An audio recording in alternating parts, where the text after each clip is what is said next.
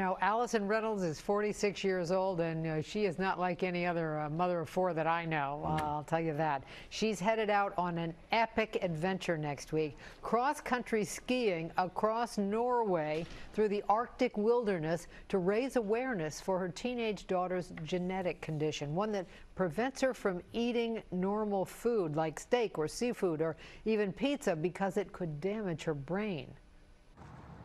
A mother's love can move mountains and more. Just look at Allison Reynolds. My friends and family think it's a little bit crazy, a little bit cool. For the past year now, she's been hauling 80 pound tires along the C&O Canal towpath for hours at a time. It will take a moment to explain why she's doing this for science and for her daughter growing up, I always had the notion that food is literally toxic for me, so I would always dread my meals, especially in public with other kids during school. Allison's daughter Tia has phenylketonuria, or PKU, a rare genetic disorder where food is essentially toxic to the brain because a person's liver can't process protein. For most of her life, 17 year old Tia Pizziali has relied on medical formula and vegetables to survive. Breaking that diet could lead to irreversible brain damage and seizures. A lot of self discipline because I'd always want to like cheat and try new foods. Keeping Tia healthy is time consuming and expensive. Cooking, the weighing, the measuring, securing the formula takes about three hours a day to manage PKU. Tia's formula costs $140 a day. Through the years, Allison has held fundraisers for PKU research. She's raised upwards of $7 million. Then in 2018, a big turning point with an FDA approved drug that allows people with PKU to eat foods that were once strictly off limits.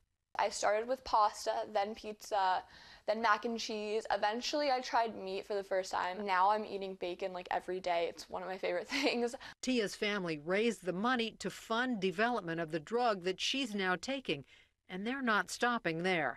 Allison wanted to do something different this year to raise awareness about PKU while paying tribute to the Norwegian researcher who discovered the disease in the 1930s. It sort of hit me like a flash in one moment. I should honor his legacy by doing something I love, cross country skiing across his country. To do that, she'll spend nine days cross country skiing across Norway, trekking 15 miles each day in the snow and sub zero temperatures hauling a 90 pound sled with all of her supplies and equipment.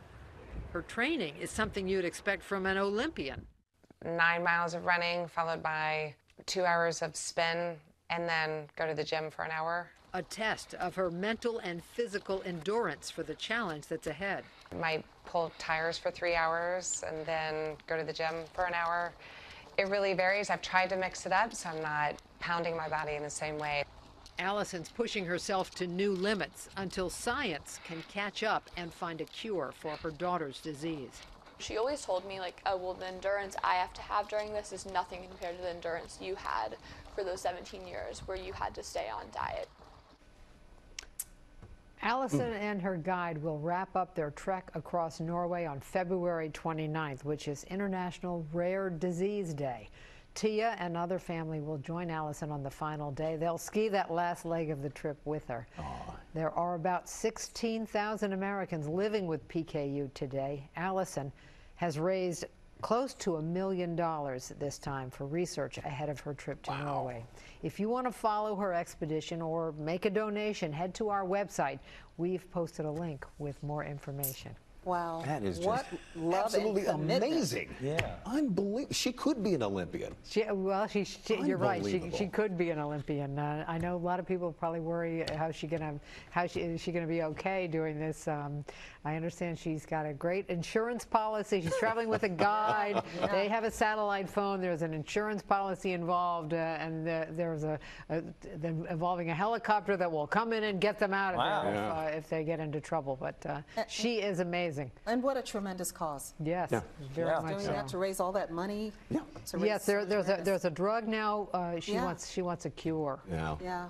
Yeah. And, so glad that her daughter can eat pizza and bacon. And, and bacon. And bacon. Uh, could you, can you imagine having to wait until you're oh, nearly 20 to eat bacon? bacon?